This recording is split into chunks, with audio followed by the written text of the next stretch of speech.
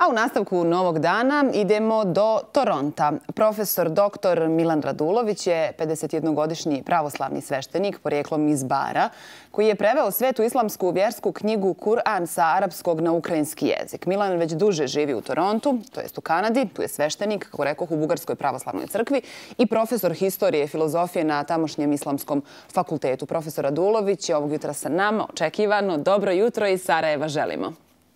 Dobro jutro iz Toronta.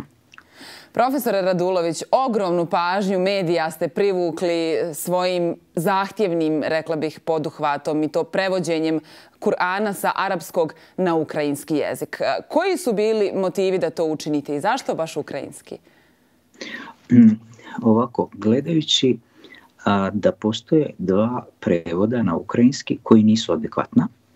Prevod Jareme Polotnjuka 1994. godine i Mihajla Jakubovića iz uh, 2013. godine, ovaj zadnji. Uh, oni su jako dobri kao književno djelo, ali nisu adekvatni kao vjersko štivo. Znači nije onaj pravi prevod uh, ajeta kao što bi neki islamisti mislili, znači da to bude islamolozi, da to bude on pitko za, za nekoga ko, ko poznaje islam i ko poznaje islamski tekst uh, Kurana i, i ko poznaje u stvari istoriju Kurana. Tako da sam je odlučio da to ne bude književno djelo, nego da baš bude jedan vjerski prevod koji će biti adekvatan, koji će biti kao u našem jeziku prevod sličan Enesu Kariću, profesora Enesa Karića ili na engleskom jeziku moga velikog prijatelja, doktora i hafiza Mustafa Hataba koji je preveo clear Kuran engleski jezik jedan jako pitak tekst za publiku, a ujedno ispravan. Znači cilj mi je bio da bude i primavljiv, a i ispravan tekst. A, koju poruku ste htjeli poslati ovim prevodom? I suštinsku i simboličku, i muslimanima i nemuslimanima u Ukrajini, ne samo u Ukrajini, nego a, svim ljudima na svijetu? Pa poruka je oni koji vole islam, da ga zavole još više, oni koji nisu muslimani, da jednostavno da, da se druže sa muslimanima. Cilj mi je da se druže muslimani i hrišćani, da voli jedan drugoga, da, da, da vjera nije bauk, da je vjera nešto što spaja, da nije vjera berlinski zid. Eh, cilj mi je zbližavati ljude. Koliko je vama ovaj poduhvat bio izazovan? S obzirom vi kao čovjek, eh, duhovnik, znate koliko je važno prevoditi samu Božju riječ, dakle prenešenu vjernicima preko poslanika Muhameda?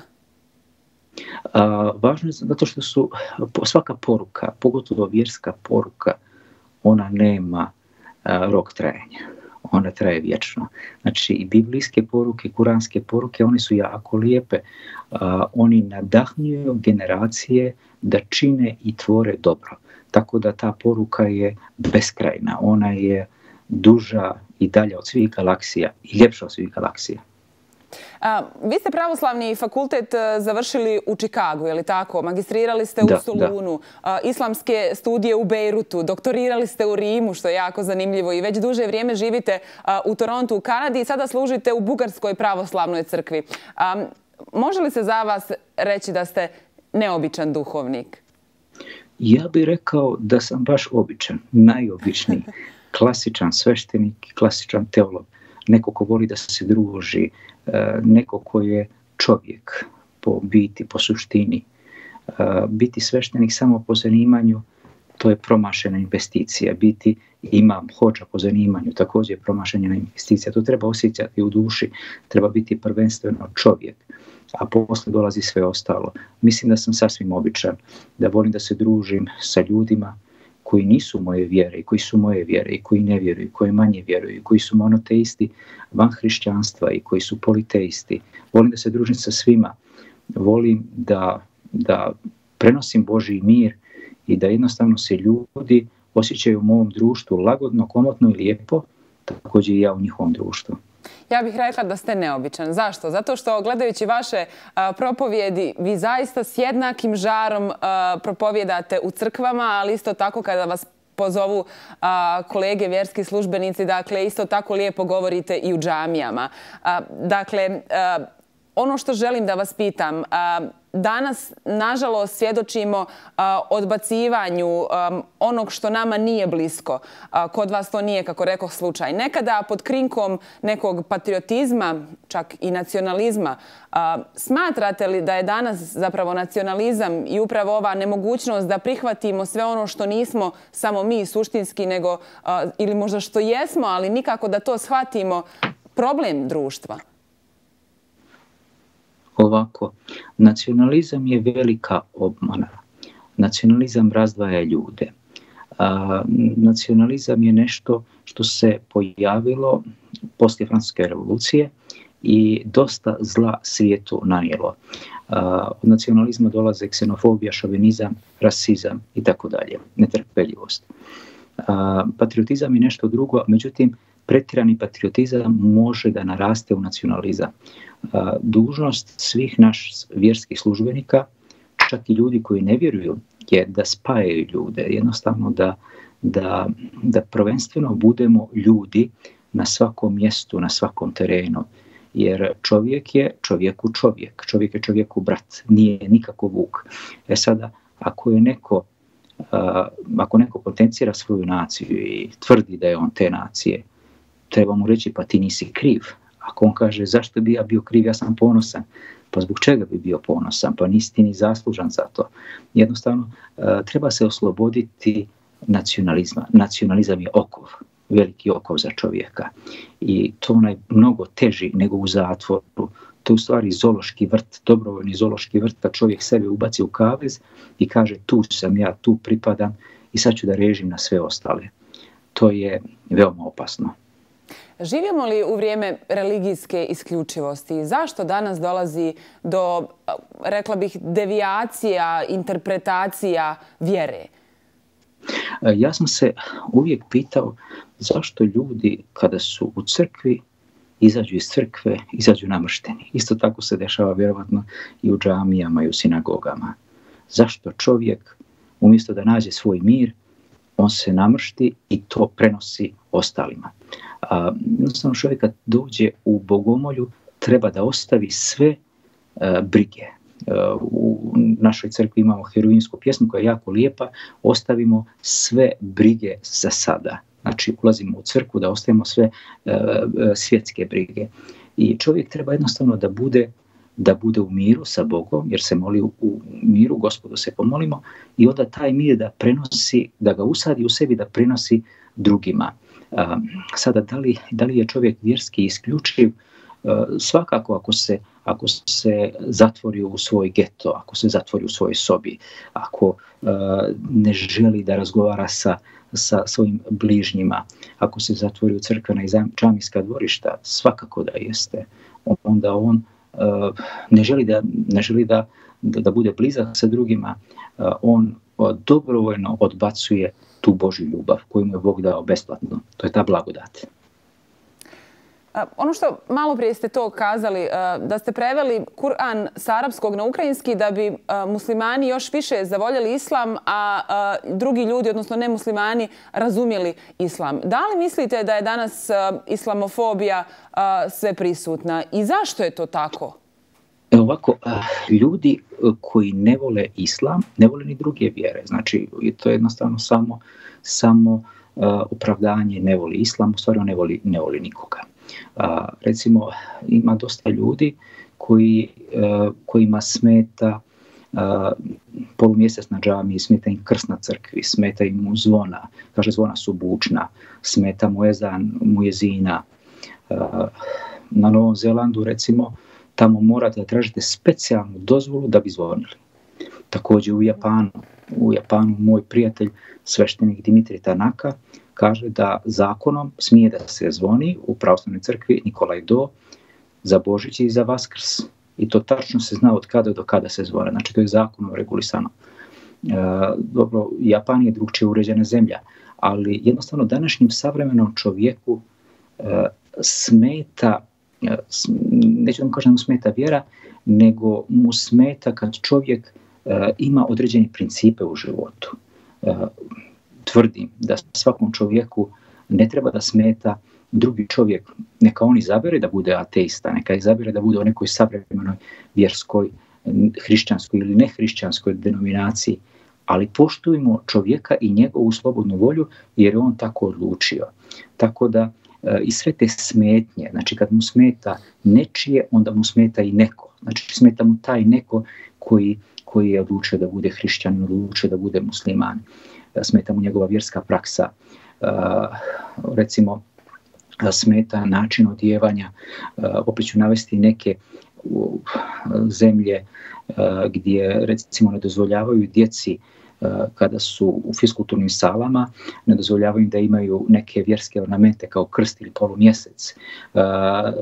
Veoma su alergični na religiju, alergični su na hijabe, svim to smeta, a međutim mi smo stvoreni da budemo različiti.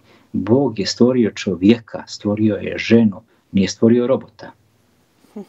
Gospodin Nadulović, ne mogu propustiti ovu priliku da vas ne pitam za jednu vrlo zanimljivu peticiju u Kanadi. Kanadski parlament je pokrenuo peticiju za donošenje zakona u toj zemlji o kažnjavanju svih onih koji negiraju da se u Srebrenici dogodio genocid. To je saopšteno iz Instituta za istraživanje genocida Kanada. E sad, sadrži ta peticija četiri puta više potpisa nego što je to bilo očekivano i Nastavit će se dakle ta potpisija i kasnije izdati certifikat s tekstom peticije i ukupnim brojem potpisa. Ono što želim da vas pitam, izgleda da će Kanada prije usvojiti zakon o kažnjavanju negiranja genocida u Bosni i Hercegovini nego sama Bosna i Hercegovina u kojoj se genocid dogodio. Šta to govori o stepenu razvoja u kojem se Bosna i Hercegovina nalazi? Šta to govori o ljudima koji žive na ovim prostorima? O Bosni i Hercegovini nisam kompetentan da govorim, ali ću vam ako dozvolite ispričati nešto o Kanadi.